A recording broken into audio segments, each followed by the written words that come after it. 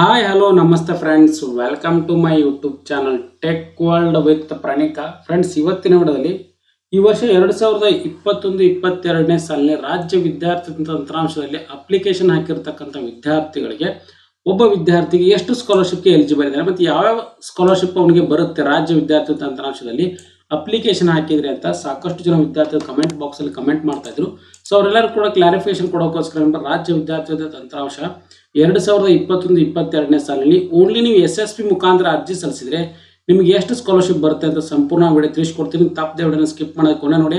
ಹಾಗೆ as usual ನಿಮ್ಮ like share subscribe ನಿಮಗೆ ಇನ್ಸ್ಪಿರೇಷನ್ ಆಗುತ್ತೆ ಮತ್ತೆ ಬೆಲ್ ಐಕನ್ ಪ್ರೆಸ್ ಮಾಡೋದ್ರ ಮುಖಾಂತರ ಹೊಸ ನೋಟಿಫಿಕೇಶನ್ ಕೂಡ ಸಿಗುತ್ತೆ. ಫ್ರೆಂಡ್ಸ್ ನೋಡಿ ನಿಮಗೆ ನೀವು ಯಾವುದೇ ಒಂದು ಕೆಟಗರಿ ವಿದ್ಯಾರ್ಥಿಗೆ ಸೇರಿದ್ರು ಕೂಡ ಇದರ ಸಮಾಜ ಕಲ್ಯಾಣ ಇಲಾಖೆ ಇರ್ಬೋದು ಪರಿಶಿಷ್ಟ ಪಂಗಡ ಇರ್ಬೋದು, ಹಿಂದುಳಿದ ವರ್ಗ ಇರ್ಬೋದು, ಅಲ್ಪಸಂಖ್ಯಾತ ತಾಂತ್ರಿಕ ಶಿಕ್ಷಣ ಇಲಾಖೆ ವೈದ್ಯಕೀಯ ಶಿಕ್ಷಣ ಇಲಾಖೆ ಲೇಬರ್ ಕಾರ್ಡ್ ಇರ್ಬೋದು, ಮತ್ತು ಅದರ ಜೊತೆ ಕೃಷಿ ಇಲಾಖೆ ಇರ್ಬೋದು.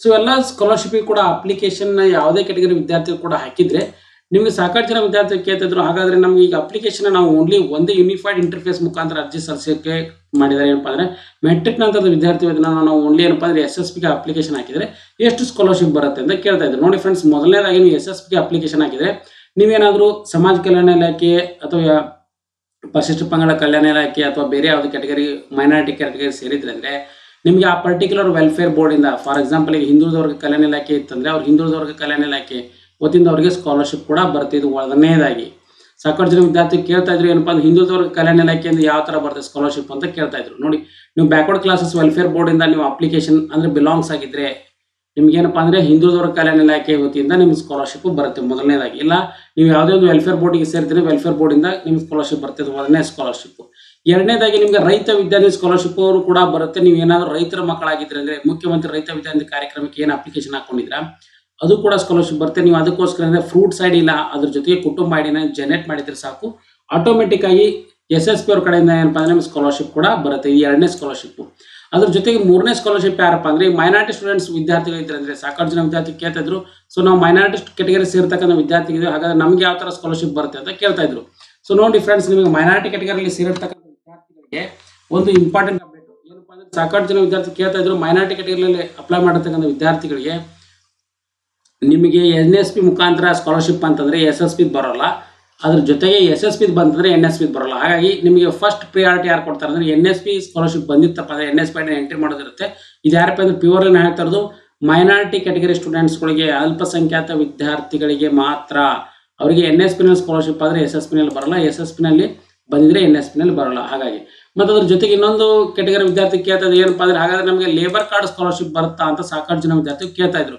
ಎಸ್ ಫ್ರೆಂಡ್ಸ್ ನಿಮ್ಮ ತಂದೆ, ತಾಯಿ ಅಥವಾ ಏನಾದರೂ labour card scholar labour card ಹೊಂದಿದ್ರಂದ್ರೆ labour ಡಿಪಾರ್ಟ್ಮೆಂಟ್ಗೆ ಸೇರಿದ್ರೆ ಅಂದ್ರೆ ಅವ್ರಿಗೇನಪ್ಪ ಅಂದ್ರೆ ಹಂಡ್ರೆಡ್ ಪರ್ಸೆಂಟ್ ಆಗಿ ನಿಮಗೆ ಲೇಬರ್ ಡಿಪಾರ್ಟ್ಮೆಂಟ್ಗೆ ಸೇರಿದ್ರೆ ಅಂದ್ರೆ ಆ ಸ್ಕಾಲರ್ಶಿಪ್ ಕೂಡ ಬರುತ್ತೆ ನಿಮಗೆ.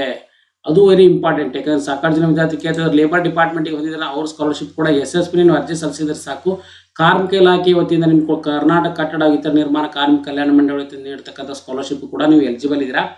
ಈ ಈ ಮೂರು ಸ್ಕಾಲರ್ಶಿಪ್ ಕೂಡ ನಿಮಗೆ ಎಸ್ ಎಸ್ ಪಿ ವತಿಯಿಂದ ಅರ್ಜಿ ಸಲ್ಲಿಸಿದ್ರೆ ಸಾಕು. ಆದರೆ ಮೂರು ಸ್ಕಾಲರ್ಶಿಪ್ ಕೂಡ ಸ್ಯಾಂಕ್ಷನ್ ಆಗುತ್ತೆ. ಅದರಲ್ಲಿ ಜಾಸ್ತಿ ಅಮೌಂಟ್ ಇರ್ತಕ್ಕಂಥ ಒಂದು ಸ್ಕಾಲರ್ಶಿಪ್ ನೀವು ವೆಲ್ಫೇರ್ ಬೋರ್ಡಿಂದ ಮತ್ತೆ ಹಂಡ್ರೆಡ್ ಪರ್ಸೆಂಟ್ ಆಗಿ ನಿಮಗೆ ರೈತ ವಿದ್ಯಾರ್ಥಿ ಸ್ಕಾಲರ್ಶಿಪ್ ಕೂಡ ಎರಡು ಕೂಡ ಬರ್ತವೆ. ಆಮೇಲೆ ಲೇಬರ್ ವೆಲ್ಫೇರ್ ಇದ್ದರೆ ಲೇಬರ್ ಫುಡ್ ವೆಲ್ಫೇರ್ ಜಾಸ್ತಿ ಬಂತಂದ್ರೆ ಅದನ್ನು ಬರುತ್ತೆ ಇಲ್ಲಾಂದ್ರೆ ನಾರ್ಮಲ್ ಆಗಿ ವೆಲ್ಫೇರ್ ಏನಿದ್ರೆ ಅದು ಬರುತ್ತೆ ಮತ್ತು ಮೂರಕ್ಕೂ ಅರ್ಜಿ ಹಾಕ್ಲಿಕ್ಕೆ ನಿಮಗೆ ಇನ್ಕಮ್ ಲಿಮಿಟ್ ಕೂಡ ಫಿಕ್ಸ್ ಮಾಡಿದ್ರೆ ಏನಪ್ಪ ಅಂದರೆ S C S T category ವಿದ್ಯಾರ್ಥಿಗಳಿಗೆ ಏನಪ್ಪ ಅಂದರೆ ನಿಮಗೆ ಎರಡೂವರೆ ಲಕ್ಷ ತನಕ ಲಿಮಿಟ್ ಇದೆ. ಆಮೇಲೆ ಒ ಬಿ ಸಿ ಕ್ಯಾಟಗರಿ ವಿದ್ಯಾರ್ಥಿಗಳಿಗೆ ಮೈನಾರಿಟಿ ಕ್ಯಾಟಗರಿ ವಿದ್ಯಾರ್ಥಿಗಳಿಗೆ ಏನಪ್ಪ ಅಂದ್ರೆ ಒಂದು ಲಕ್ಷ ರೂಪಾಯಿ ಅವರು ಕೂಡ ಇನ್ಕಮ್ ಲಿಮಿಟ್ ಫಿಕ್ಸ್ ಮಾಡಿದೆ ಸೊ ಅಷ್ಟರೊಳಗೆ ನಿಮ್ಗೆ ಇನ್ಕಮ್ ಲಿಮಿಟ್ ಇತ್ತಪ್ಪ ಅಂದ್ರೆ ಎಲ್ಲ ಅಗತ್ಯ ದಾಖಲೆಗಳನ್ನ ಸಬ್ಮಿಟ್ ಮಾಡ್ಕೊಂಡು ನೀವೇನಪ್ಪ ಅಂದ್ರೆ ಅರ್ಜಿನೂ ಕೂಡ ಸಲ್ಲಿಸ್ಬೋದು. ಅದರ ಜೊತೆಗೆ ಅರ್ಜಿ ಸಲ್ಲಿಸಿರ್ತಕ್ಕಂಥ ವಿದ್ಯಾರ್ಥಿಗಳಿಗೆ ನಿಮಗೆ ರೈತ ವಿದ್ಯಾರ್ಥಿ ಹಂಡ್ರೆಡ್ ಪರ್ಸೆಂಟ್ ರೈತರ ಮಕ್ಕಳಾಗಿದ್ದರೆ ಸಿಗುತ್ತೆ. ಲೇಬರ್ ಕಾರ್ಡ್ ಏನಾದರೂ ನಿಮ್ಮ ತಂದೆ ತಾಯಿ ಹೊಂದಿದ್ರೆ ಅದು ಸ್ಕಾಲರ್ಶಿಪ್ ಸಿಗುತ್ತೆ. ಅದ್ರ ಜೊತೆಗೆ ನಿಮಗೆ ವೆಲ್ಫೇರ್ ಬೋರ್ಡಿಂದ ಎಸ್ ಎಸ್ ಪಿ ಅವರ ವತಿಯಿಂದ ಏನು ಸಿಗ್ತಾ ಇದೆ ಸೊ ಹಿಂದುಳಿದ ವರ್ಗ ಹಿಂದುಳಿದ ವರ್ಗ ಸಮಾಜ ಕಲ್ಯಾಣ, ಸಮಾಜ ಕಲ್ಯಾಣಕ್ಕೆ ಮ- ಅಲ್ಪಸಂಖ್ಯಾತ ಅಲ್ಪಸಂಖ್ಯಾತ. ಈ ಮೂರು ಸ್ಕಾಲರ್ಶಿಪ್ ಕೂಡ ನೀವು ಎಲಿಜಿಬಲ್ ಇದ್ದೀರಾ. ಹಾಗಾಗಿ ಯಾರ್ಯಾರು ಇದ್ದಾರೆ, ವಿದ್ಯಾರ್ಥಿಗಳು ಪಿಗೆ ಈ ಕೂಡಲೇ ಅರ್ಜಿ ಸಲ್ಲಿಸಿ ನಿಮ್ಮ ತಂದೆ ತಾಯಿ ಆಧಾರ್ ನಂಬರ್ನು ಕೂಡ ಅದರಲ್ಲಿ ಅಪ್ಡೇಟ್ ಮಾಡಿ, ನಿಮ್ಮ ಆಧಾರ್ ನಂಬರ್ ಕೂಡ ಅಪ್ಡೇಟ್ ಮಾಡಿ, ಅದರ ಜೊತೆಗೆ ನಿಮ್ಮ ಬ್ಯಾಂಕ್ ಅಕೌಂಟು ಮತ್ತು ಆಧಾರ್ ನಂಬರ್ ಲಿಂಕ್ ಮಾಡಿಸಿ ಅಂತ ತಿಳಿಸ್ಕೊಡ್ತಾ ಇದ್ದೀನಿ. ಸೊ ಇದು ಲೇಟೆಸ್ಟ್ ಆಗಿಂದ ಬಿಟ್ಟು ಈ ವಿಡಿಯೋದಿಂದ ಮಾಹಿತಿ ನಿಮ್ಮೆಲ್ಲ ಇಷ್ಟ ಆಗಿದೆ, ಒಂದು ಲೈಕ್ ಮಾಡಿ ಶೇರ್ ಮಾಡಿ ಸಬ್ಸ್ಕ್ರೈಬ್ ಮಾಡಿ and thanks for watching the